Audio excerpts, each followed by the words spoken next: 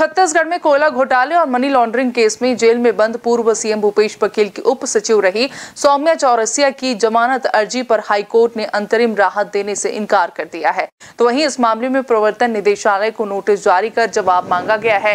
Case की अगली सुनवाई ग्रीष्मकालीन अवकाश 10 जून के बाद की जाएगी। तो वहीं सौम्या चौरसिया की तरफ़ से पैरवी कर रहे एडवोकेट हर्षवर्धन परघनिया ने परघनिया के साथ ही दिल्ली के सुप्रीम कोर्ट के एडवोकेट ने ऑनलाइन पैरवी की। उन्होंने सौम्य चौरसिया को अपने बच्चों की परवरिश के आधार पर जमानत मांगी है, लेकिन जस्टिस एन के व्यास ने अंतरिम राहत देने से इनकार कर दिया।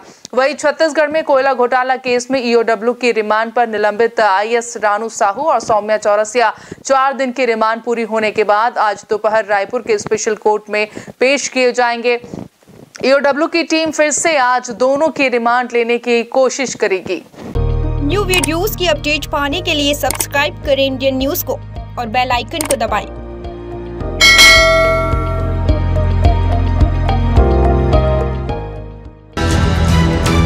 ये है इंदू ब्रॉडकास्टिंग प्राइवेट लिमिटेड और आप देख रहे हैं इंडियन न्यूज़ हर पल हर क्षण हर सच।